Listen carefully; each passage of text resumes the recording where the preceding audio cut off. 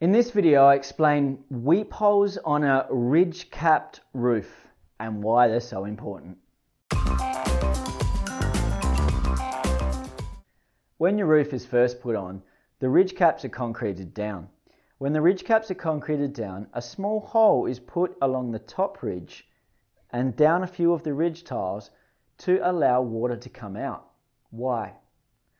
If you look at this photo, you'll see that we've tracked a leak on the top of a ridge cap. You can see here, water has tried to get out of the weep hole, but the weep hole was blocked. When there is heavy rain, tiles absorb some of their weight in water.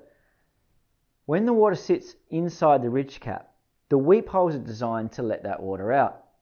Should a weep hole not be there, or should a weep hole be blocked, the water will go back into your roof.